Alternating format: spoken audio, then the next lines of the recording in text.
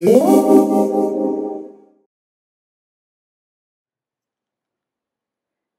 this video, we'll learn about the law of diminishing marginal utility and its relationship to the demand curve. By the end of the video, you'll be able to explain the law of diminishing marginal utility and also identify the link between diminishing marginal utility and the individual and market demand curve. What is meant by the term utility? In economics, utility represents the satisfaction gained from the consumption of a good or service. In the next slide, we'll look at how and why utility diminishes or reduces as we consume more of a particular good. The law of diminishing marginal utility states that as an individual consumes more of a good or service, ceteris paribus, their utility will decrease with each additional unit. The common example that I use in class is pizza. Whenever I order pizza, I know that when the doorbell rings and the pizza is delivered, I'm about to consume as much as I can. The first slice is always the best one for me. The consumption of the first slice brings me a utility of 9 on a 1 to 10 scale. The second slice brings me a lot of utility, about 8. By the third slice, I'm starting to get so full that my utility drops to 5. By the fourth slice, I'm full, and that slice brings me a utility of 2. If I continue to the fifth slice after I'm full, then I may experience zero or negative utility. In this example, I'll say I stopped after the fourth slice. Let's examine the data again and break down the relationship between utility and the demand curve. The column with all the smiley faces is actually a measure of marginal utility. Marginal utility corresponds to the additional utility gained from consuming the next unit. My overall utility is increasing, but my marginal utility that is associated with each successive unit is decreasing. Let's plot this information on a diagram with marginal utility on the y-axis and the quantity of slices of pizza on the x-axis. From the y-axis, we'll include the numbers 1 to 9 as a peak utility was 9.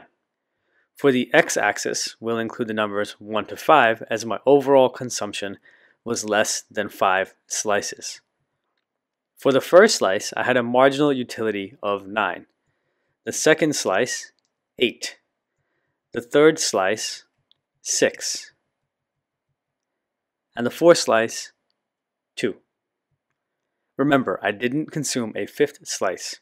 What you'll notice is that I have a high level of marginal utility for that first slice, mostly because I've gone from not having anything to eat to finally eating something. As I consume more and more slices, my marginal utility diminishes or reduces. If I was willing to pay $1 for each unit of utility, I'd be willing to pay up to $9 for the first slice, $8 for the second slice, $6 for the third slice, and $2 for the fourth slice. As you can imagine, if the equilibrium price of a pizza slice was $9, I'd probably only end up eating one slice. That's because the second slice will only bring me a utility of 8, and I'm only willing to spend $9 on 9 units of utility or above. If the price dropped to $8 a slice, I'd be willing to buy 2, as long as the value of the marginal utility is greater than or equal to the expense I face, I'm willing to consume an additional unit. I could continue to consume until my marginal utility is equal to the amount I'd be willing to pay. If pizza slices cost $2, I'd eat 4 slices. Even if they cost $1, I would still stop at 4 slices. Remember, after the fourth slice, my utility drops to 0 or below. Let's use that same information to convert the marginal utility graph into a demand curve. We switch out marginal utility for price and leave the y-axis unchanged. At higher prices, you'll see the quantity demanded is low, and as the price drops, there is a greater quantity demanded.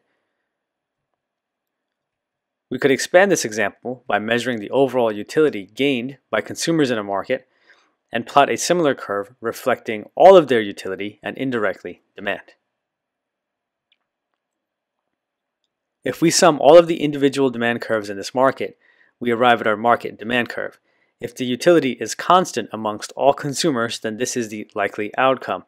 However, it is highly unlikely all consumers receive the same level of utility from pizza, and it is hard to measure a unit of utility regardless. By now, you should be able to explain the law of diminishing marginal utility and also identify the link between diminishing marginal utility and the individual and market demand curve. If you have any questions or comments, you can leave them below or email me at enhancetuition at gmail.com.